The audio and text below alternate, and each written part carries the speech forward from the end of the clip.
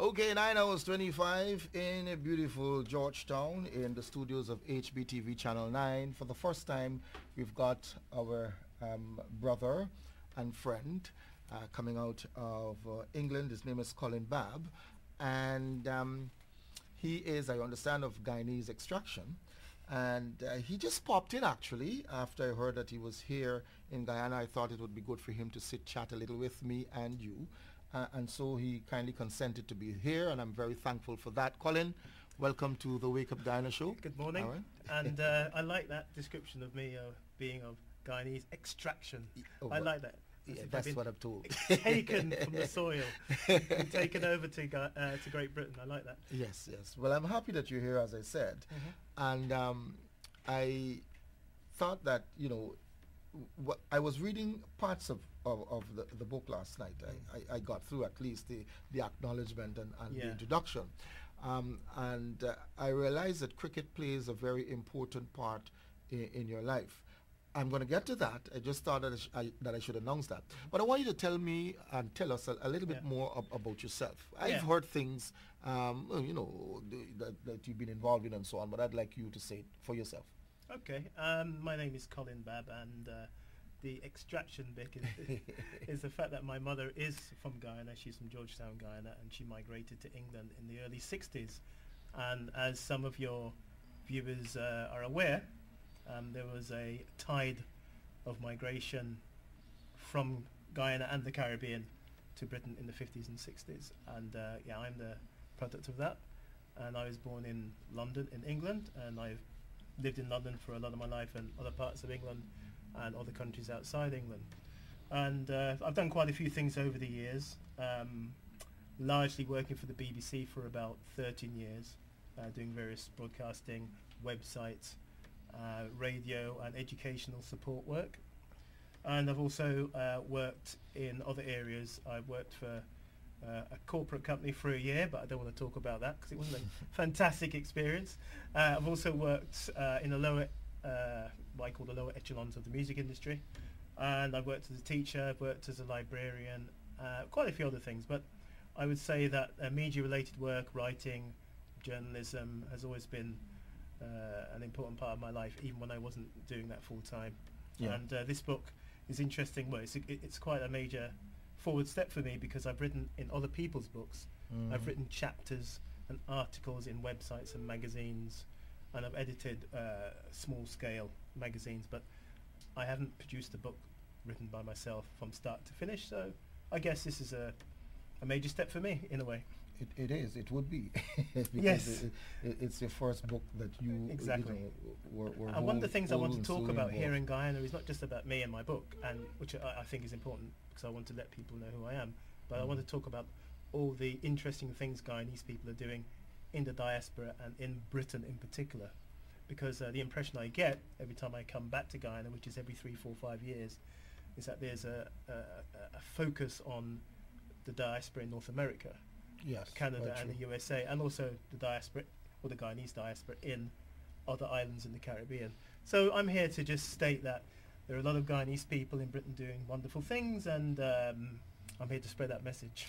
Well, it, it, it, brings me to the point of wanting to know um, in what way you, you think you can serve to make that connection closer, uh, because we've both contended um, that you know the, the connection is basically with, with the United States of America and, and, North America, basically, yeah. Yeah, I think and that's to do with uh, migration patterns uh, because right. generally mo most people from Guyana migrate to North America rather than Britain now. Mm. I think mm. that really is part part of it, which mm. is understandable. There are mm. reasons for that. Um, so, uh, and I think generally migration from the Caribbean to Britain has seized up since the 80s or 70s and 80s. So that connection with the Caribbean is becoming a lot weaker. Mm-hmm. So, you know, I'm here to sort of be the voice of the British diaspora for about how long I'm on this program for. well, that's that's quite a task, I know. Yeah, but, I know. But, big, but big the task. type of person I know you you are, you you'll try your best to get that done. I'm curious though. I I have, you know, met a lot of a, a lot of persons who. Um, are of Guyanese parentage and, and uh, living abroad, in, you know, in America, in England, Canada, and so on and yet they still seem to want to have this connection with Guyana. uh, you know, the land of birth of their parents, and, and you know, not so much them. You know, you were born in England, and you seem to be uh, close to Guyana. Yeah, well, the thing is, is I, I would regard myself as someone who has various technicals, tentacles. Can I rewind that? uh, I, I, various fingers in, in different pies, as, as they say in England. Um, I'm very much uh, born and bred in Britain. Britain is very much part of what I am. And of course, when my family were born and brought up, they were brought up in the British Empire. So obviously that connection is extremely strong. And there's lots of things I love about being British and living and being brought up in Britain. Mm-hmm. Um, there's also lots of things I love about being of Caribbean descent and the Caribbean culture.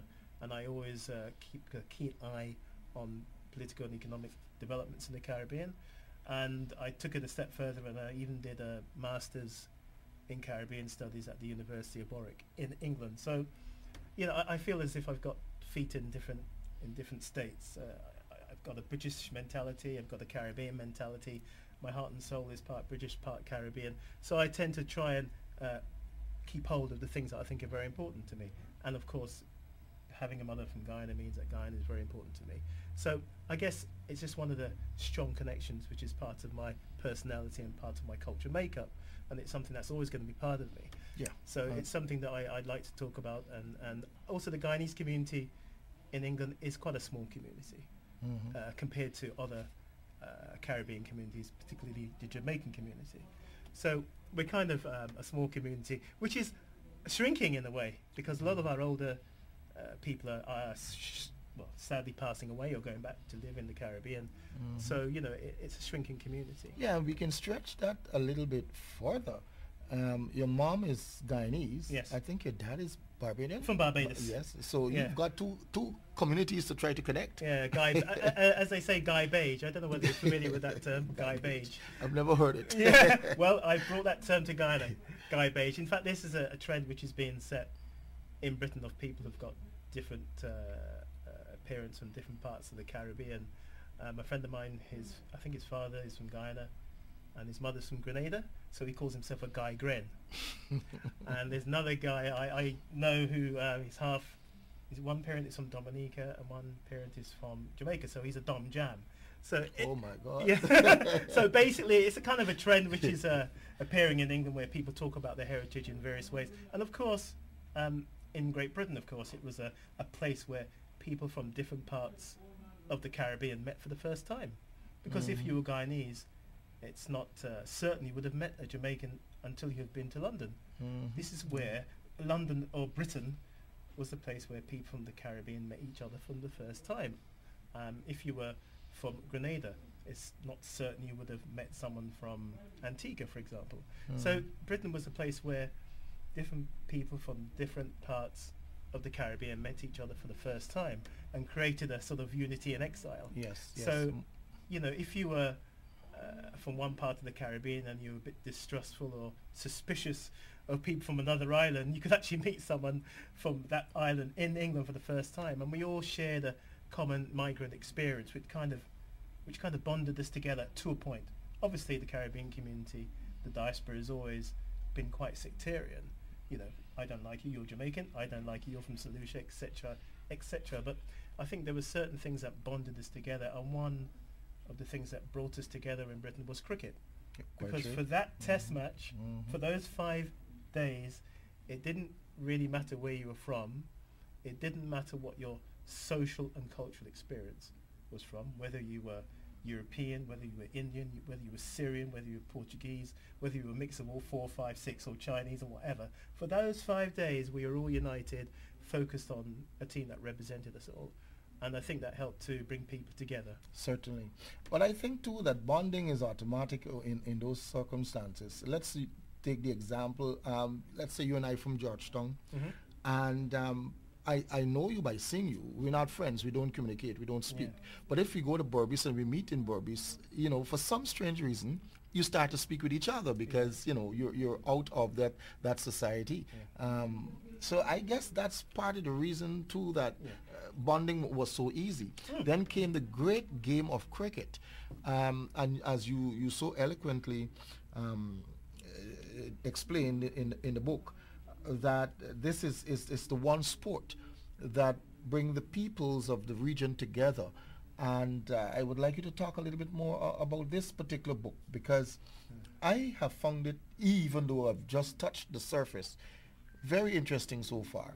And it's uh, hard to believe that this is your first real um, book or, or by your by yourself. Yes, you know, I've, written chapters and articles mm-hmm. over the years, but it's my first real book. And uh, that's Cameron. There we are. Yeah. That's the cover. Available in Austin's. Thank you very much. Oh, it's at Austin. Am I allowed okay. to do those mm-hmm. commercials there? I've slipped that one in. Uh, that's okay. That's okay. no rules and regulations. Um, yeah. Uh, th- uh, there's also. Um, can I just quickly talk about the other books here because oh, yes, go ahead. I'm. This book has been produced by um, a company called Hansib. Hansib, yeah. And Hansib have been uh, going in Britain since the 1970s. In fact, 1970 is when they first started and there's another Guyanese connection, of course, because the guy who set up Hansib is Arif Ali, and Arif Ali is somebody who migrated from Guyana to Britain and eventually set up this company. Okay. So again, we have a Guyanese connection, and again, it's somebody from the diaspora doing something quite notable. And yeah, Hansib is a, a company which has produced many, many books uh, around many, many different topics by many, many different authors uh, throughout the Caribbean and also Africa and Asia. Um, and it's a really, really, really fantastic publishing company, and they published my book, so I would say that. But they've obviously, but they've published other books by Guyanese writers, including, uh, I can even flick through and remind myself, excuse me, uh, Clem Seecharan, for example, and there's Mr. Waldron, who's written a fantastic book, Victor Waldron, about travelling to Britain from Guyana. Uh, yeah, so there's quite a few different uh, authors from all around the Caribbean, including Guyana, and then there's the very popular second edition book, uh, which is about Guyana, which you might have seen here and there. So yeah, fantastic publication, uh, fantastic publishing company, and they've done a great job in bringing lots of books to the to the attention of not just the Caribbean diaspora, but people from outside the diaspora, because there's plenty of people from different backgrounds in Britain who are actually interested in this kind of writing. You don't have to be. I always say when I do my one-man shows in England, because I do a little one-man show about growing up in Britain and cricket and, and just funny little stories about my life connected with the book. And I, my pitch is always, you don't have to be from the Caribbean to like it. Mm-hmm. And it, it, seems to work because I always have lots of people from different backgrounds coming to my events who are interested in the book. Yeah. Which is a very long way of answering your question. Sorry, yeah. I, I, behaved like a politician there. But um, yeah, I mean, about the book itself, I mean, what, what um, inspired me to write it is that I've always been interested in writing and thinking about the Caribbean community in Britain, and I've always been a fan of Caribbean cricket. But I wouldn't describe myself as a cricket writer. I, I just like writing about cricket. I wouldn't say I'm a cricket writer. That's not how I write my how I make my living. But I think um, that connection between cricket and the Caribbean community is something which hasn't really been explored in great depth. And so I thought, you know, with the interest I have, that I'd really, really explore it. And uh, you said some very kind things about my book, which I appreciate. And I'm writing another version, which is going to be a revised and updated version of this book, which, in my opinion, is going to be bigger and better. Okay. And go into more depth. And I've done more interviews with more people, including uh, I did a great interview with Basil Butcher mm-hmm. last week. Um, fantastic interview. Gave me a lot of insight into being a cricketer, coming to England playing against England in the 1960s. Um, just the experiences and the connection he made with the community there and the fact he had a sister who was living in London. I mean, these really are really interesting so- stories which I like to get from cricketers, from commentators, from writers, from fans, from anybody who was connected with West Indian cricket and cricket in general during that during that period that I'm writing for from sorry, which yeah. is from the 1920s onwards. Yeah. Well, you know, I said that, that you did make some salient points in, in, in the book. One of them is the fact that uh, during the, the, the, period of West Indies dominance, you know, uh, the West Indian fans were so proud of, of our team. And then you also went to the point where we started to lose that dominance. In fact, it's on the decline. Um, it has declined. And uh, since you have been so much into West Indian cricket and so on, you may have um, not so much a solution, but an assessment of, of the situation here. Okay. And I want to point out clearly that you, you, you made the point, I underlined this one, that it might be as a result of um, the board not, you know, doing what they really should do. Uh, and they might be uh, the cause of, of, of the decline. I, would like you to address that point. Yeah, I mean, it's, I mean, there's no doubt that cricket and the Caribbean community in Britain, the relationship has, um, let's say, dissolved. It, it's not as strong as it used to be. And you're quite right to point out that one of the reasons is because of the results in the last 15 to 20 to, to 25 years. Uh, and also you're right to point out that the part of the uh, disillusionment with cricket uh, from the Caribbean diaspora is, uh, is because they feel that the board has mismanaged cricket for the last, well, for God knows how many years. I mean, this is something that I get when I travel throughout the Caribbean, whether I'm in Barbados or St. Lucia or wherever. there are always plenty of people who want to criticise the board. Any rum shop anywhere in the Caribbean, you'll get the same, you'll get the same response. Um, but the point I'd like to make, and the point that's uh, made in the book, is that there are other reasons why uh, cricket and the Caribbean commun- community in Britain have kind of experienced a bit of a divorce. Not just about the results. I think the Caribbean community in Britain's changed a lot. So you have people who are second, third, fourth, fifth generation mm-hmm. don't really see themselves as being West Indian.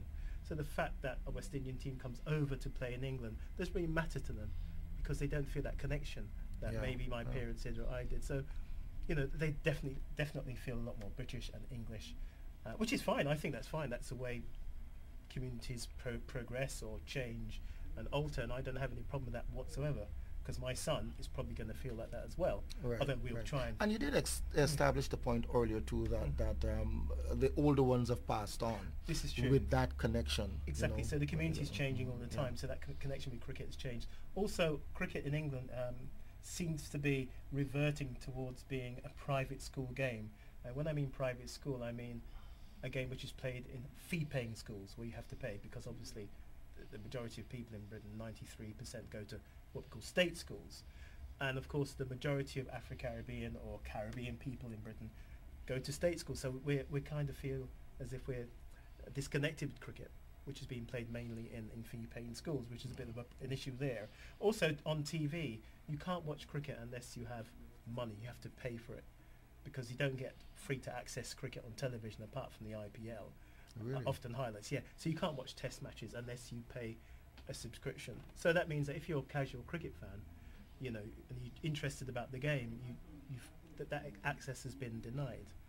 Um, so yeah, there are many, many different issues around it. And also another one is the, the fact that other sports are very, very much more important to second, third and fourth people of Caribbean descent, i.e. football and athletics and rugby union and many other sports. For example, you might have heard of a racing driver called Lewis Hamilton. Hamilton, yeah. Yeah, his um, his father is of Grenadian descent. Yes. Now, when I was growing up, I wouldn't have thought that somebody of Caribbean descent in Britain would be a Formula One racing driver. But that's happening. We're producing gymnasts. We're producing rugby union players. We're producing people who are doing well in many, many other sports, not just cricket. So there's lots of competition for for for people's time, space, and enthusiasm when it comes to sport in Britain and that includes cricket. So cricket faces a challenge there as well, mm-hmm. and also because of the sh- shrinking of the West Indian population, cricket clubs. Now, the West Indian Cricket Club in Britain was a place where you could go, you could meet friends. It was a social spot. It was a place of community. It was a place of social refuge. When you came from Britain, you'd go to the local cricket club, and they would say, "Well, there's a place over there you could rent. You might get a job over there." It was almost a, a support network building. But cricket clubs aren't as important now because they don't have the members. They're not, not getting the, the new members from the Caribbean community. And often, when you go to cricket clubs in Britain, you'd find that a lot of the players are non-Caribbean because they need to make up the teams from somewhere. Right, right. So the cricket club, which was a real stronghold and bastion of West Indian culture, is, is it's not not as much as it used to be, and that I think is all part of the reason. I mean, I'm giving away too much in the book here, but I, am just feeding out. No, that the, might whet the appetite yes, to, to understand because some there, there, are people out there who really would like to get to the bottom of this, you know, yeah. to understand what is really happening. Yeah. And and you had the benefit of of um, viewing cricket. Uh, in the days of yore with, with, with the Lloyds and, and, and the, the Kanhais and so on, I'm sure. Yeah, well, I can tell you my first cricket experience in 1973. I watched the West Indies tour England with Kanhai as a captain. That was my first cricket experience. I clearly remember. Right. Yeah. Uh, and and so you you you you have the the, the double um, pleasure of, of seeing the the present day cricket team in action too. Yeah. I, I raised this because I, I, I want to understand if this too couldn't have been a part of our decline. The seriousness on the part of the participants, the players themselves. Um, we talk about um, I remember watching that documentary on Lloyd, who was so upset when uh, the English told him that, that they're going to make the West Indies gravel. oh yeah, that's you know, probably that, that Fire in Babylon. something. Yeah, yes, that, that was you know, made by a British director. and, yeah. and then Ri- Richards, Viv Richards subsequently uh, took the mantle and, and he Yeah. decided that this is not only going to be a game of cricket, it Yeah, has to do with our pride and all of that. Are the players these days Mm. so deep into uh, the whole understanding of what cricket is between England and, and the West Indies? It's interesting that you should say that because this is a common uh, feeling by the diaspora that the, when they come over, the team, to represent the uh, the diaspora, when they play England in England, there isn't uh, the commitment as it was before. This is often a criticism. Although I've spoken to one ex-player um, who I probably won't name, but he did tell me with absolute certainty that that wasn't the case, that they do try, they do play, they are 100% committed when they come to England, but it's just that the results just haven't been there. But you just don't seem to Um, get that impression at all. Yeah, I, I can understand the impression and the reality are often two different things, but I, I, I, I would say that maybe other countries throughout the last 10, 15, 20 years have just basically become better. Um, and I think that's the thing now. It's, and a lot of it is to do with money and resources. England, India and Australia uh, the countries which have the resources Mhm. to spend money on cricket. And even South Africa, which has less money than those three countries, is a very uh, uh, often one of the top test countries. But I think one of the things about cricket that I've noticed in the last five, ten years is that there are three layers of cricket now. You have 2020 cricket, you have test cricket, and you have one-day cricket. So Mm. it's very difficult for one team to be dominant in all three Yeah, formats. yeah, so true. Therefore, the idea of one team dominating cricket, I don't think you're going to see that now. You- You're going to see 2020 specialists, one-day specialists, and test specialists. Yeah, like And you've it- seen some of the guys now retiring from test because they want to focus on the, the one 2020 day game and the is quite lucrative in India in Mhm. particular, and I think the West Indies could still be a force in limited overs and 2020 cricket. But in Yes, Test I think so too. in Test cricket, probably not at this moment in time, and I'm being very, very diplomatic and British about this. but I think it, with so many different formats of cricket, you're going to get different teams dominating. But absolutely right. Um, I think the impression that the team doesn't have the same passion for the diaspora as it did before, perhaps gives the impression that they're they're not as committed. But um, I think a lot of it's to do with other countries just being better at organising their cricket. But who knows in the future what will happen? I mean, I've left the book on an optimistic note um, to say su- to suggest, um, particularly in the second book that I'm writing, that um, in the future, you know, I can see the West Indies doing well in the shorter formats of the game, which you know, success is success. Yeah. Well, Um, well, there's still some hope. Um, and, and one last quick question I, I, I want to have here um, for you is, do you see, because I've been listening to persons out there who seem to think that the way things are happening now, this is 2014, and in the future, you just may not have Test cricket anymore. Because look at the grounds when the, the, the Test matches are being played. You know, hardly can fill one one stand. Uh, what are your thoughts here? Do you think it's going to be phased out at some point in time? Well, again, very, very relevant questions to some of the work that I've done in the last five years as regards Test cricket. Um, generally, 2020 matches and one-day matches in England attract more West Indian supporters. Test cricket, not as much. And one of the uh, one of the reasons I've been told by some of the older generation is the, is the cost. Test matches generally cost a lot more. So Mhm. that's an issue. Also, can people take time off from work for five days in a uh, tightening economic climate Yeah. in Britain to watch five days of cricket? Probably not. And also, um, I was talking to Tony Cozier about this. The, the West Indian way in Britain, or the West Indian way, but in Britain, is not to pay in advance because a lot of test matches you have to pay in advance, organise yourself online, websites, and that's not the West Indian way. We like to just turn up if we feel the mood is right and Yeah. queue. Yeah. That that tradition doesn't exist in England anymore when it comes to Test cricket.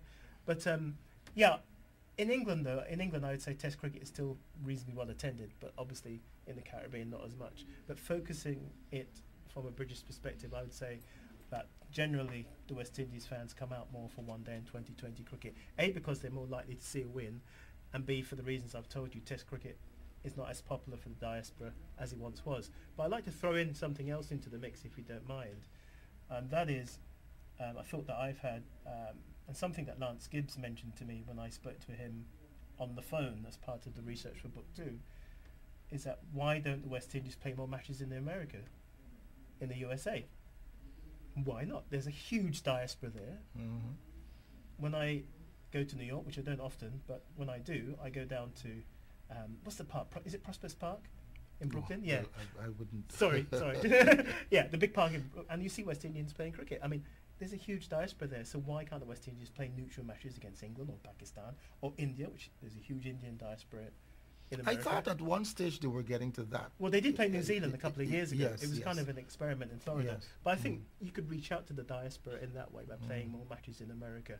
I don't know how you can organise it because there's so much cricket played throughout the year. There's so many matches. Uh, I Yeah. mean, there's almost a cricket overload now. But that's a thought. That's a thought. Well, you know, lots of your ideas and so on are contained in, in this book, and I would like to encourage the public out there to go to Austin's bookstore, and you get you you, you can't see it um, properly here, but yeah, I can tell you it says here they gave the crowd plenty fun, um, attractive looking book. So when you get in, get into it, you'll I guess we'll Yes. find more attraction. That's from 1963. yeah. The crowd running onto the pitch in 1963. Yes, yes. Um, and last night I was trying to figure out the ages of the people that I see here running out. They must be in their 70s and 80s running Oh, out in the field Yeah, here. probably 60s, 70s, 80s. Yeah, Yeah, that was yeah. A, a generation of hope because the West Indies gave a lot of uh, people who were struggling and facing tough times in Britain uh, a sign of hope and uh, helped them to raise their self-esteem. Yeah. Um, you know, it was even when they weren't winning, it, they were like the ambassadors Mm. for a lot of the community in Britain. And also, it wasn't just about winning. It wasn't just about winning. It was a lot of it to do with fun. You could go there, take your food, make some noise, congregate. The sort of thing. Where could you else could you do that in Britain? There were no other avenues to congregate uh, uh, as a diaspora. So that's why cricket was very important. Colin, we can go on all morning, but we, we can't.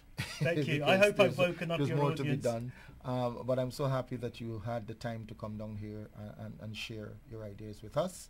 And I hope that, uh, you know, the folks out there can, can purchase this book and, and read up. Thank you. An Colin absolute pleasure to be on your show. Thank you very Thank you much very for much, having me. Thank you. All right? And enjoy the rest of your stay in Guyana. Thank you. But even if you if you don't, you come here pretty often. I understand. So Yeah. you'll make up another time. Yes, hopefully when the next book is out, I'll be here again. Thank you very much. Wonderful.